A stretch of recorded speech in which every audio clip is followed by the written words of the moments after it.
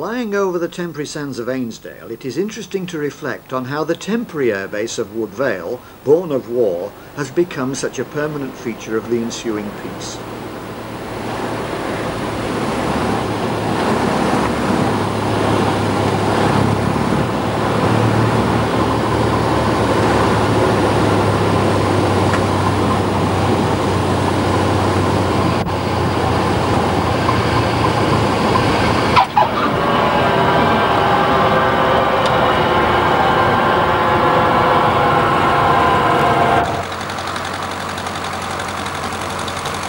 Fifty years ago, landing was not such a leisurely affair, yet it was so much sweeter. For the pilot, it meant that he had survived once again in the deadly defence of Liverpool's port and its peoples.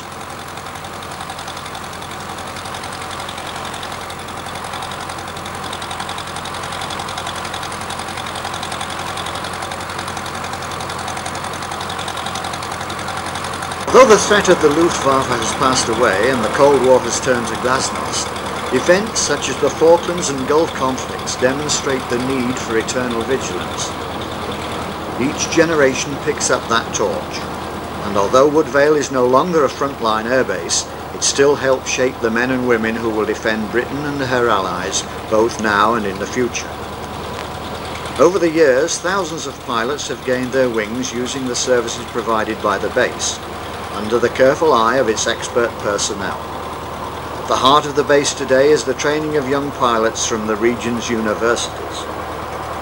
The Jubilee is both a celebration of RAF Woodvale's past and a time to reflect upon the new challenges its graduates will face in the future.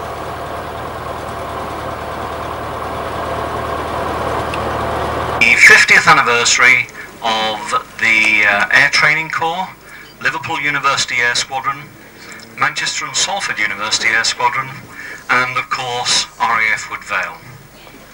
Now to organise an event like this with uh, static aircraft, I think there are about 18 static aircraft out there, all the memorabilia in this tent that we had this morning and we'll have again tomorrow morning between 10 o'clock and 2 o'clock, uh, sorry, between 10 o'clock and 12 o'clock, uh, takes an awful lot of doing, not to mention this evening and the um, air display tomorrow. I'd like to thank all those people, uh, and there are very many of you, who have helped us to organise the event. In particular, I'd like to thank my project officer, Flight Lieutenant David McKenna, and his assistant, Jane Ferguson.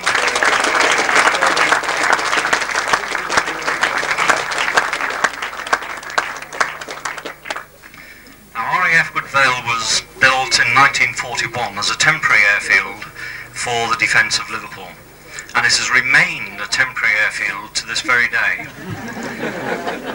Although we've made some minor changes over the past few years, um,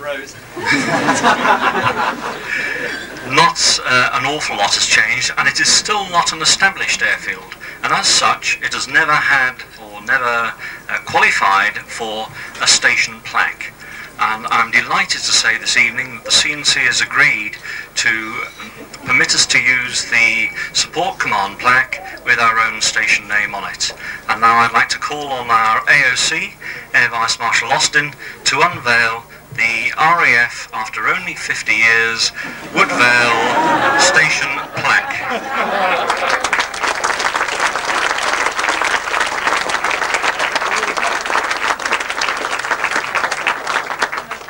All I can say is I declare this plaque, which I'm assured is under this piece of cloth, unveiled. It's been stolen by Lewis.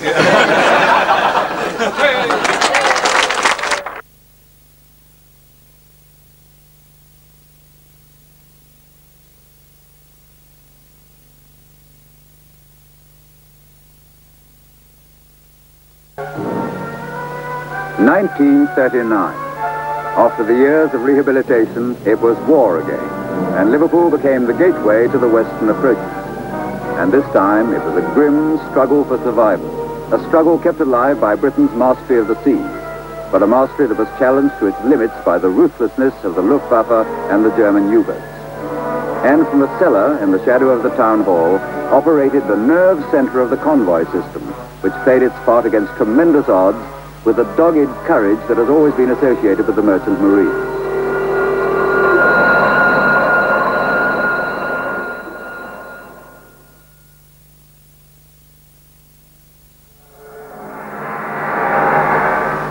For the first time in a great war, there was no front line, and the battle was waged on our own doorsteps. The Luftwaffe did its worst, with inhuman success. In the May Blitz alone, 3,966 people in the four Merseyside boroughs lost their lives, and 3,812 were seriously injured. 10,000 of their homes were completely destroyed, and 184,000 damaged. A catastrophe from which it would seem almost impossible to recover.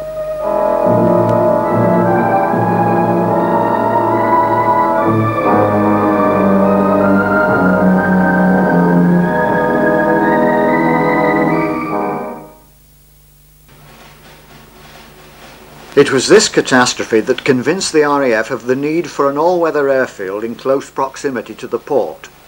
Many sites were investigated, but the flat farming lands between Formby and Ainsdale proved the most suitable. The bypass also gave good road access. The main runway was parallel to the Liverpool Southport railway line and fighters could cover a large sector of the northwest. Started in mid-41, the first personnel officially entered the main gates on the 25th of October 1941, although the base was far from complete. Number 308 Polish Squadron was the first to use Woodvale's OD station code. The rapid building of three Bellman hangars and the admin block allowed the base to function. Nearby Cavendish House became the officers' mess, and many buildings were requisitioned, with Hall Farm being used as station sick quarters. By the time the Countess of Jersey visited, Woodvale was home to over 2,000 mixed personnel of many nationalities. Heavy air engagements took their toll, and many brave men gave their lives. 308 and 315 Spitfire squadrons served with distinction, but were affected by battle fatigue. Resting, regrouping and retraining were vital parts of Woodvale's role in the war effort. The Royal Air Force, along with the Polish contingent and the Royal Canadian Air Force, lost many men, as graveyards in and around Southport and Formby testify. Although departed, their courage and spirit lives on. The debt owed by the free world to such individuals can never be fully repaid, except by keeping up our defences so that their sacrifice was not in vain. The Jubilee is also a time to look back with awe and respect at such men and their aircraft. Remarkable men needed remarkable machines, and many became legends. The Beaufighter inflicted terrible damage to enemy shipping, whilst the Blenheim bomber defended Allied troops from attack. The deadly Hurricane destroyed more of the Luftwaffe than any other aircraft. Veteran Tiger Moths made excellent basic trainers, and many pilots owed their lives to the expertise gained in flying them. Typhoons provided tactical air support as the Axis powers retreated and the tide of war turned in the Allies' favour. The Mosquito, or Wooden Wonder, performed many roles. The Mustang acted as fighter escort to Bomber Command raids, but it is the Spitfire that best symbolises the bulldog tenacity that helped to win the war.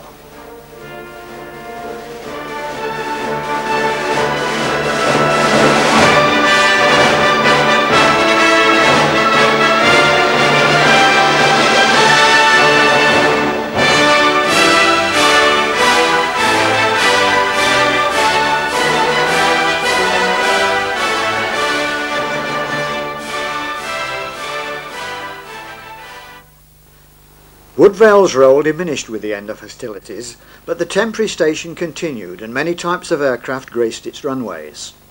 The Fleet Air Arm took over briefly, and many different squadrons used the airfield throughout the late 40s. Despite the lessening of activities, the arrival of the jet age as heralded by the Meteor and the operation of the THUM temperature and humidity flights helped Woodvale to continue.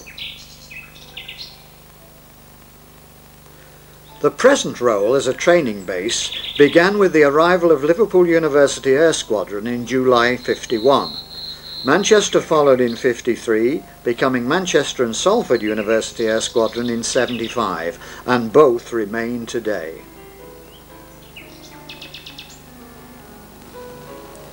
The 60s saw the arrival of civil and commercial flying at Woodvale.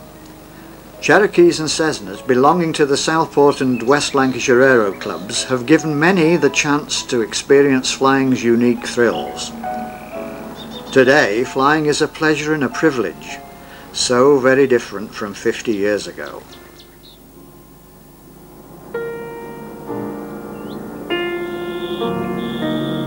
Lie in the dark and listen. It's clear tonight, that they're flying high.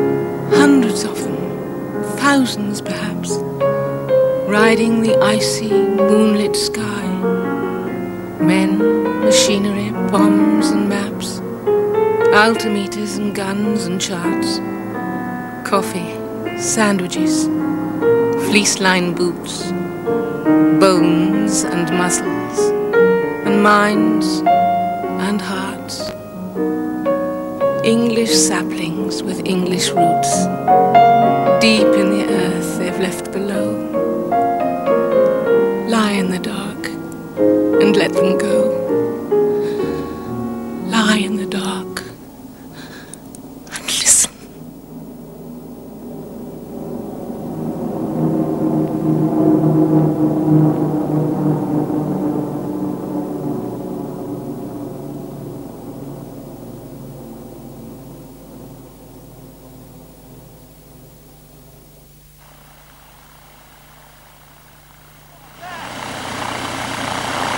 Today it is the young cadets of the University Air Squadrons that carry on the work of Churchill's few.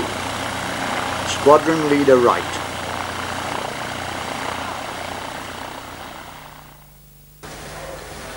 What part do the University Air Squadrons play in recruiting new pilots into full-time RAF careers? The University Air Squadrons take students directly from the university. There are three categories of students. We have the cadetships who are sponsored right the way through. We have bursaries who have um, a small payment at the end of each term. And we have the volunteer reserve pilots. And all three categories uh, contribute to the Air Force's intake of all ranks and um, certainly all trades in the Air Force. The sponsored and bursars tend to go in, providing they maintain their medical category, tend to go in 100%. The VRs, uh, volunteer reserves, would tend to um, produce about 33% of our students would go on to further training. In an era which has seen the lessening of East-West tension, do the University Air Squadrons have a part to play in the future of the RAF? I think it's essential that the RAF maintains a balanced force for some years to come. As we've seen, we don't have very many years before there is some tension in which we're asked to play a part.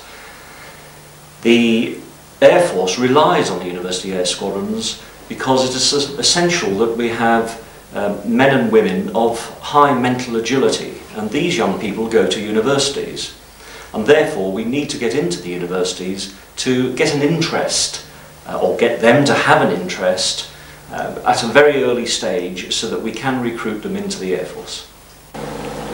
Squadron leader, which University Air Squadron is the eldest at Woodvale? Uh, my squadron, Liverpool, which moved here from Hooton Park in July 1951. How many students are usually under training at any one time? It does vary throughout the year, but normally we have 48. And where do you recruit your students from normally? For, although it's Liverpool University Air Squadron, I take students from obviously Liverpool University, the University of Lancaster, Liverpool Polytechnic and Lancashire Polytechnic in Preston. Number 10 Air Experience Flight, under the command of Flight Lieutenant Ray Pinchin, forms an important part of Woodvale's role in training non-university pilots. Founder member Flight Lieutenant Alan Pimblett defines air experience as having three objectives. The first is to encourage a wider interest in all matters concerning aviation. The second, to maintain motivation throughout the training period, as it lets the young people practice the skills learnt on the ground. Thirdly, it increases the amount of flying time available and helps promote recruitment to the Air Training Corps ranks. A pilot's life depends upon the aircraft he is flying. For this reason alone, the skills of the ground support staff are vital in ensuring that all craft are well maintained and in tip-top condition. Constant use and complex manoeuvres push these aircraft to their limit pilot and machine close to the edge. Central to the smooth and safe running of any airbase are the staff of the air traffic control. They must keep an eye open at all times for a host of variables. Even in the quietest moments, they must be ready to respond to any event that may suddenly occur. The wartime map of Woodvale has now been reinstated on the tower. From the air traffic control tower, the base's nerve centre, all movements and activities are monitored before being given flight clearance. University Air Squadron cadets, having received permission, take off for a training flight.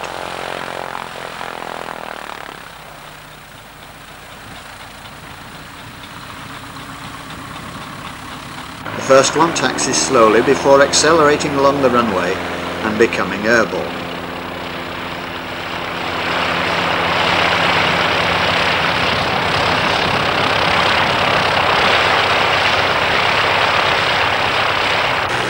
Colleague follows closely behind.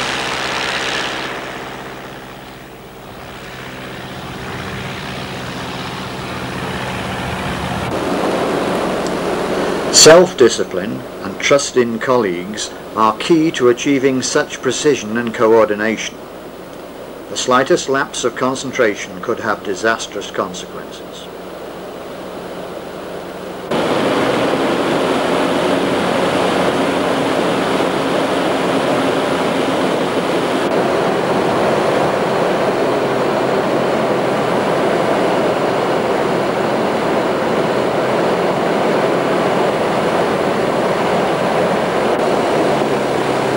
The session over, the pilots return to base wiser than when they left.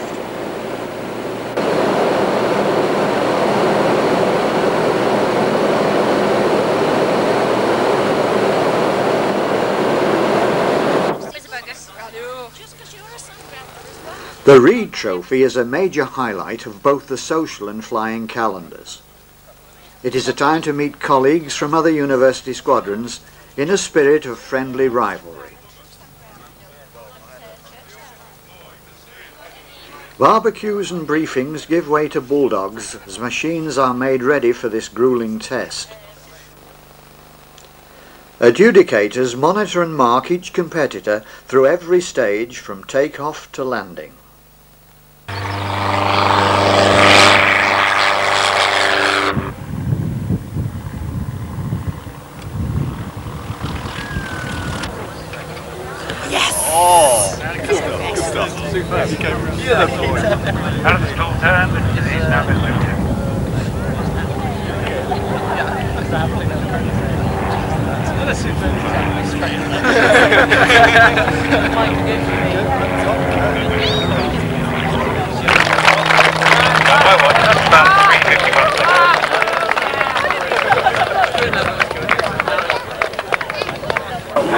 Anyway, the final placings were as follows. Third place overall was awarded to Northumbrian UAS. The second place in the competition went to Yorkshire UAS.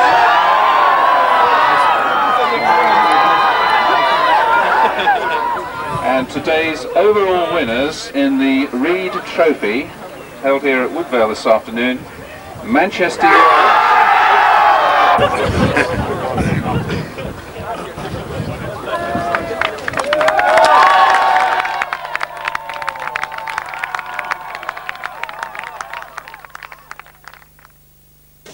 marches and ceremonies by 610 Chester ATC Squadron marked the start of the Jubilee celebrations.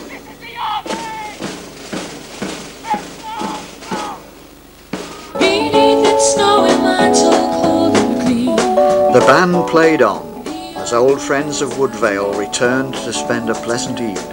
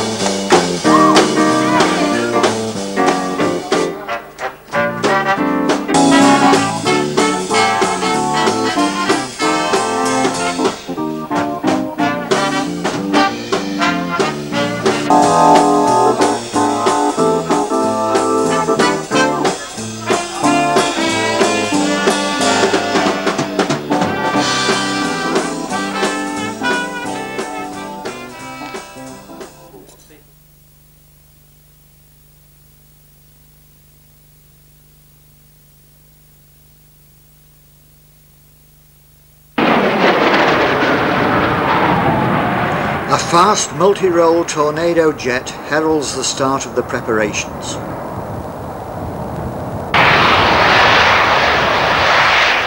The Harrier descends in its own inimitable way.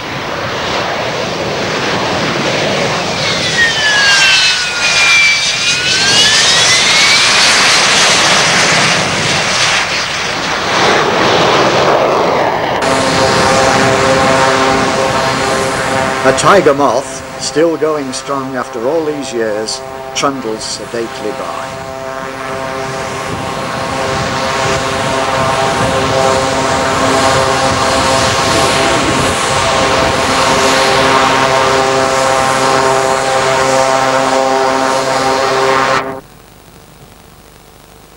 The larger naval Lynx and Sea King helicopters make an impressive appearance.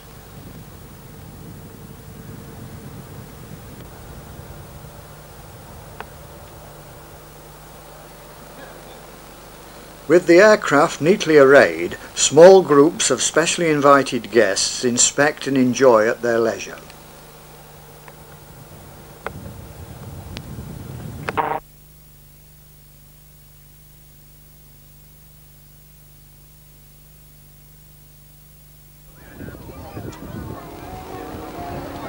The following day, crowds are assembling on the beach near the pier for the first Southport Air Show. They are waiting for the breathtaking spectacle to begin.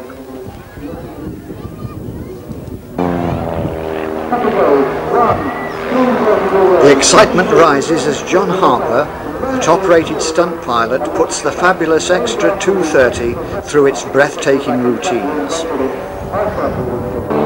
The three helicopters, a Scout, a Lynx and a Gazelle, forming the Army Air Corps Eagles team, fly in close formation.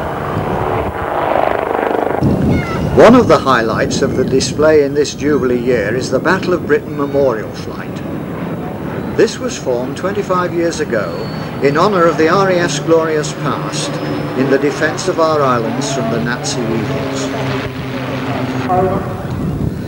Flares on the water's edge signal the start of the Falcon's amazing display of control and coordination. Nicknamed after the bird with a reputation for lethal accuracy when diving for prey, the RAF freefall parachute display team leave the audience breathless. Plunging from a huge Hercules transporter two miles high, their coloured smoke trails weave intricate patterns in the sky.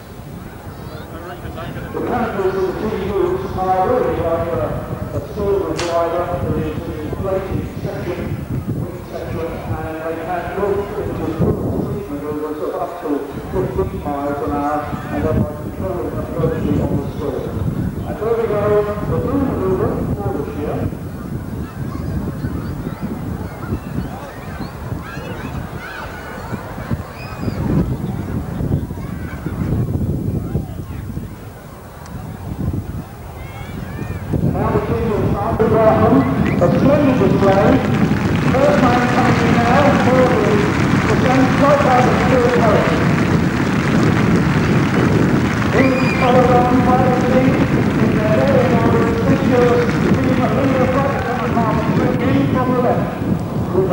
all are safely down, they receive the warm applause of the onlookers as the Hercules performs a low-level flypast.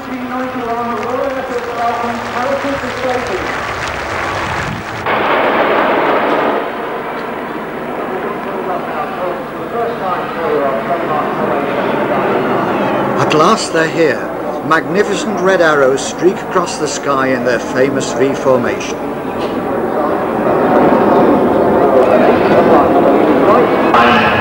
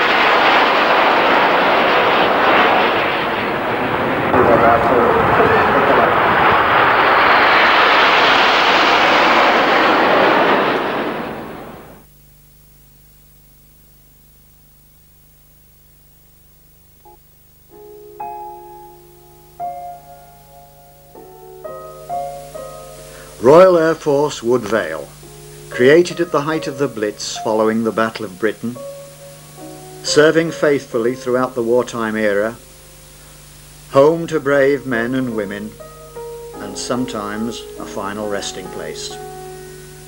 Steadfast throughout the peacetime years, into the new jet age, and through the Cold War. Woodvale has done more than anyone could ask of a temporary base, providing many top-flight men and women from university and air training corps with countless hours of valuable flying experience. After 50 years, Woodvale has achieved much, and as the Jubilee celebrations come to a close, yet another generation takes over, looking forward to the future. No matter what the ever-changing years bring, the spirit and courage that these young people have inherited will see us safely through. Woodvale will always have pride in the part it plays, now and in the next 50 years.